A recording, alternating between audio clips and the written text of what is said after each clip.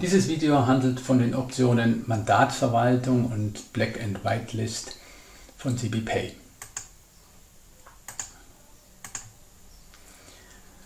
Normalerweise werden Mandate oder auch Sperrlisten von den Core Banking Systemen in den Stammdaten verwaltet, aber wenn das nicht möglich ist, kann CBPay diese Funktion übernehmen.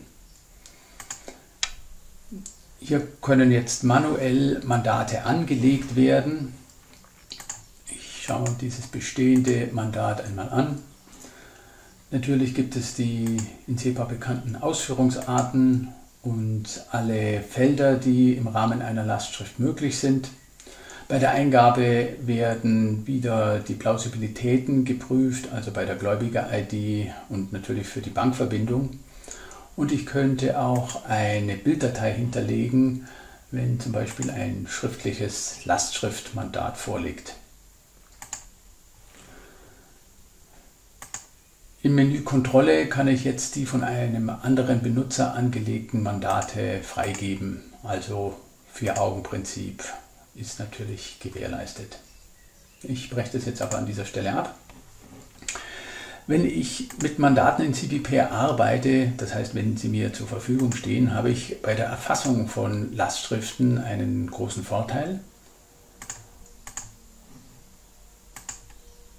Und zwar, wenn ich hier die Lastschriften auswähle und jetzt eben Sätze erfasse, kann ich zwischen den bestehenden Mandaten auswählen und alle Felder sind entsprechend ausgefüllt vorbelegt und ich muss nur noch den Betrag eingeben.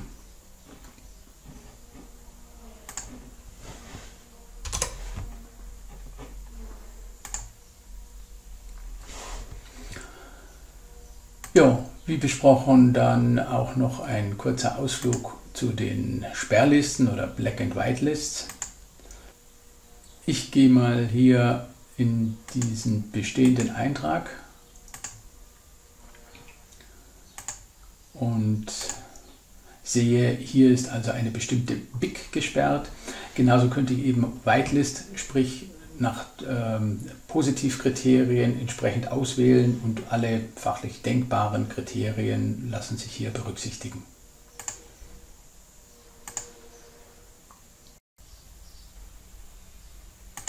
Wenn Black- oder Whitelist-Einträge in CBPay vorhanden sind, werden alle eingehenden Zahlungen danach geprüft.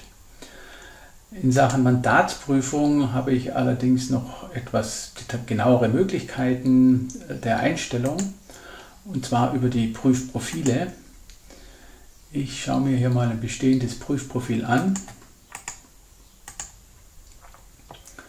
Hier gibt es im Reiter Mandatsprüfung die Möglichkeit, die Prüfungen ein- bzw. auszuschalten. Das heißt, das individuell im jeweiligen Prüfprofil zu berücksichtigen.